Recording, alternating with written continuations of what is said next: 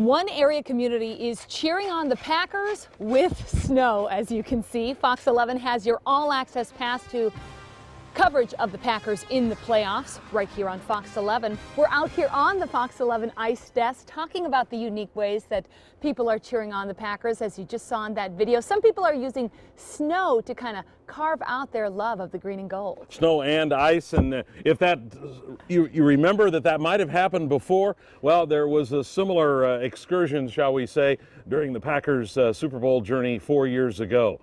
Fox 11's Eric Peterson brings us up to date this evening on what's going on in the snow.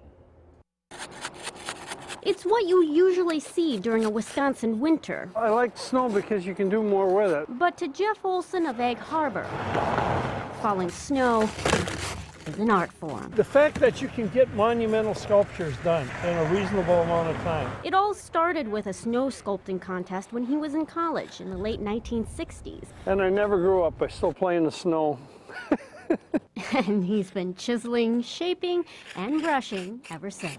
A sculptor who has competed and won in state and national competitions, and even has had a close brush with the Olympics. Yeah, I was. We were an alternate team one year, and then another year we finished sixth.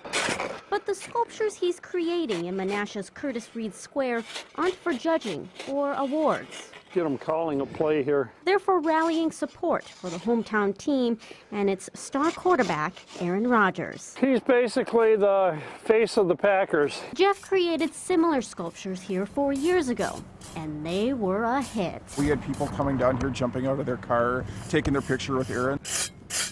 But this year, he's hoping people will stop to admire another key player. Uh, let's see Let's see. None other. He's running. Than Packers running back. He's holding the ball. Eddie Lacy. Okay, so that is the thumb. They've added a running game that they haven't had for a long time. And about four hours later of taking a little off here and a chunk there. All right. Number 27 is nearly complete with flowing dreads, a face mask, and of course, the Packers G on his helmet. I just think that he's done such a good job this year. The last time his sculptures were here, the Packers won the Super Bowl. And who knows, maybe the same thing will happen this year. I will definitely be rooting for the Packers.